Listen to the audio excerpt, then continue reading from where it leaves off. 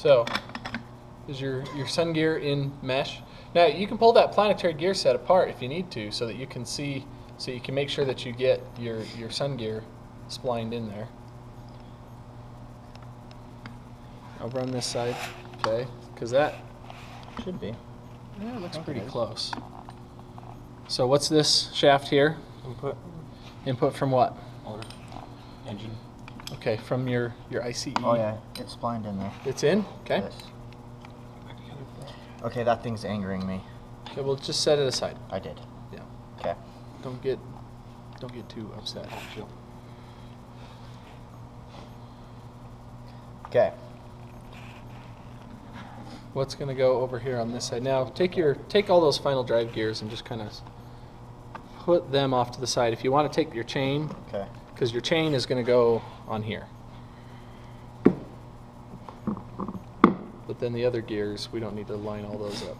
But we'll put that chain there so we remember that's where the chain goes. And you notice how that chain is kind of stiff, right? Yeah. If you'll notice in here, there's a there's a little there's a little spring in here to provide interference between all those links, just to keep Oh. to keep it kind of tense or you know tensioned. Take your take that cover, move it off to the side because we don't need that for right now.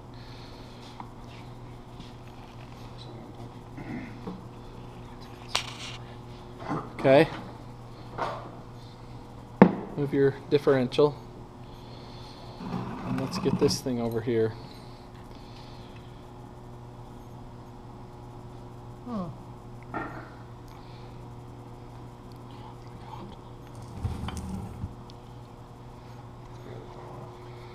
Is it barely? Uh, does it matter which way it goes in? Um, mean, yeah, it does. I so it which way does. does it go? Straight in. Yeah, that's on top. Yeah, it is. This the your your winding connections are on top. Yep, and that's on top. Because remember, this has got your ring here for your your resolver. okay, I just I just You made just- a, uh, you like just- a permanent magnet You just gear. welded those together. Pull it apart. Ugh. Okay, This is the one that's gonna film. Yeah, watch your fingers. Just like that. that'd be all right. I mean, it'll probably scare you a little bit, but just don't let your fingers get down in between. Okay. Now, Very manly of you to. Well, this thing's sharp. Right yeah, it is. That's- yeah, that that's thing is sharp. sharp too. Yeah, okay, now stand this up on its side.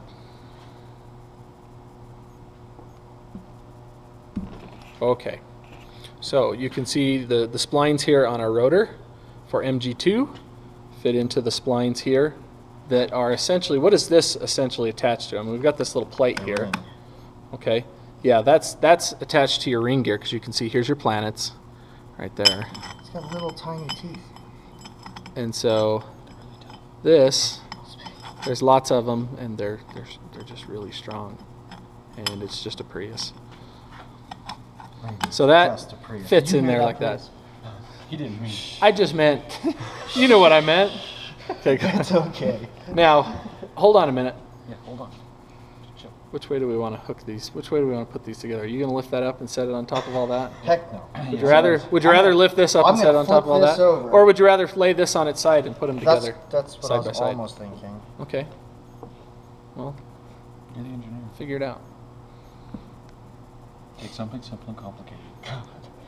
Okay, I'm gonna think about this. We can come back on, um, not this, not this coming Monday. but After spring break, The Monday spring after. Spring break, and then you'll have. you'll have it all Suggestion. worked out. Worked out, no. Suggestion, yes.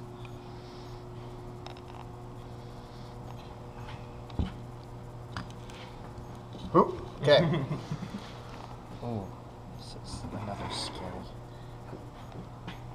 Don't be scared. Don't be afraid. Okay. Put a block on the. There you go. Now stick a block of wood underneath there. Little much. Okay. Now the chain is it's on that sprocket. So that's that's really it, right? I mean, this almost looks like what we were looking at in those those pictures. One of the things that people always get confused of is they um, they think that the planetary gear set is like the output, so that your output passes through the planetary gear set to the wheels. So so that you know they they they think that that planetary gear set manipulates the the gear ratio okay to the wheels is that true or even possible? No not at all. Because mg2 okay this is our primary traction motor. For all intents and purposes on the prius this is the motor that drives this vehicle down the road Okay, this is the motor that drives the vehicle down the road. The splines back down in here were in mesh with the outer, this outer shell, which is our which is our ring gear, and then it is um, on the other side or the other half of the the shell here. We have our chain, which goes down to our final drive gears. So there is a gear reduction ratio in the final drive, like there is on every other car, but there is no gear reduction at all between MG2 and the wheels. There's none. So there's no transmission. Meaning there's no there's no variable gear ratios. So then what is the planetary gear set doing? Well, what it is doing is it is blending motor drive from this from our input shaft here, which is going to be splined into our our drive plate or, you know, like the dual mass flywheel like I keep mentioning. That's going to come from the engine, and the rotation of this shaft will be blended with the motivation being provided by MG2. And then we are going to split the power coming from the engine here between helping MG2 and then coming back through the sun gear to drive MG1. But that's the way all of that looks together. No transmission. How does it control that split? How does it control just- that split? Just by the ratio of how much, well, essentially the three are. Yeah, depending on the, the demands of the three. So if this one here is, is, is running as a generator, mm-hmm. The gasoline engine can run and we can vary the speed of the gasoline engine.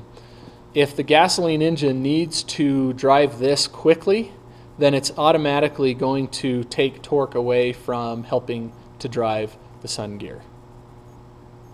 Okay, if the faster we spin that engine, the faster the little planet pinions in there are going to rotate, and the faster this will rotate. Well, it's still providing force because the pinions are walking around the inside of that sun gear. So it's still providing torque to that final drive. You just keep this one spinning at the same speed. But this one, well, this one is just spinning at the speed of whatever, Of whatever we're, this we're running the going at. vehicle at. Okay, so that's all controlled by It's the action, thing. the action in the inverter. She does her own thing. It's it's it's not really that complicated. It's pretty incredible that this is essentially everything that's inside the transaxle of the Prius because people expect to find Unicorn. unicorns, and there's no there's no trace of unicorns. You can't even find any of their droppings in there. In the inverter, you find unicorn droppings, but uh, There wasn't even, there wasn't even, not in here. there wasn't even a hobbit in here. There was no hobbits. No, there was nope, nothing like that. So pretty cool. So we're going to take this now. We'll take this now and we can start reassembling. And there's a few other things we'll do along the way. And we'll talk about this some more as we reassemble.